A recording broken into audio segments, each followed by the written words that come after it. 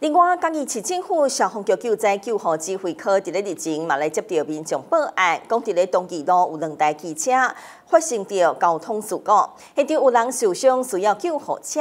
消防局随即派遣着救护人员，佮有救护车前往抢救。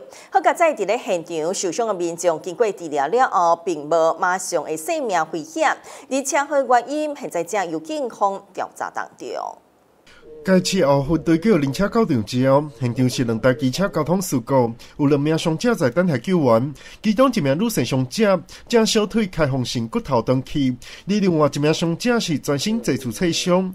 叫另外三体两人进行伤口处理之后，分别送往病院治疗。女性患者主主诉哈，就是她从门门口刚出来的时候，就是遭另外一名机车哦擦撞哈，那。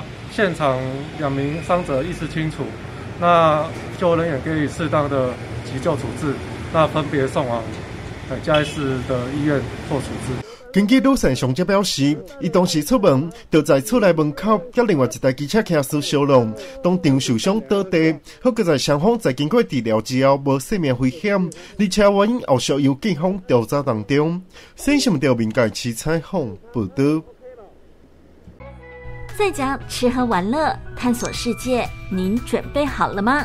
旺 TV YouTube 频道带您网络漫游，深入嘉义最在地的美食，最及时的新闻，最感动人心的故事，只要滑动手指，全部完整呈现。现在订阅还有机会参加我们的抽奖小活动哦！马上拿起手机扫 QR code，一起加入我们吧！